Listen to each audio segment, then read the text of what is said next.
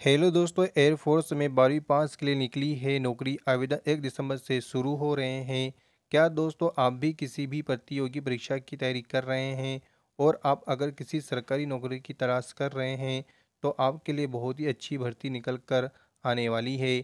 आप सभी को बता दूँ कि Indian Air Force Common Admission Test के लिए नोटिफिकेशन जारी किया गया है। आप सभी को बता दूँ कि ऑनलाइन आवेदन एक दिसंबर से से लेकर तीस दिसंबर तक भरे जाएँगे। आप सभी को बता दूँ कि अलग अलग पदों पर अलग अलग भर्ती निकली है, जिसमें इस भर्ती से संबंधित सभी जानकारी हम इस वीडियो में देने वाले हैं। तो दोस्तों, वीडियो को अंत तक ज़रूर देखें।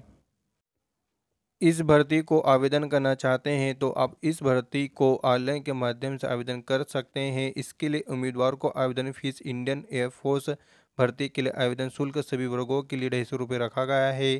शुल्क का भुगतान अभ्यर्थियों को ऑनलाइन के माध्यम से कर सकते हैं। दोस्तों एयरफोर्स भर्ती के लिए शैक्षणिक योग्यता। इस भर्ती के लिए आप सभी को बता दूँ कि फ्लैंग ब्रांच पद के लिए किसी भी मान्यता प्राप्त बोर्ड से बारहवीं पास होना चाहिए, प्लस ग्रेजुएशन में साठ प्रतिशत अंकों से पास होनी चाहिए। इसके अलावा ग्रांड ड्यूटी तकनीकी पद के लिए किसी भी मान्यता प्राप्त बोर्ड से पचास प्रतिशत अंक से बारहवीं पास होनी चाहिए। ग्रांड ड्यूटी गैर तकनीकी पद के लिए स्नातक डिग्री से साठ प्रतिशत अंकों से पास होनी चाहिए। दोस्तों, इस भर्ती के लिए, चयन प्रक्रिया के लिए निम्न चरणों के माध्यम से होकर गुजरना होगा। सबसे पहले लिखित परीक्षा होगी। दोस्तों, भर्ती से संबंधित अधिक जानकारी के लिए आप नोटिफिकेशन के माध्यम से देख सकते हैं। दोस्तों, इस भर्ती में आप आवेदन करना चाहते हैं तो आप इस भर्ती में आवेदन कर सकते हैं।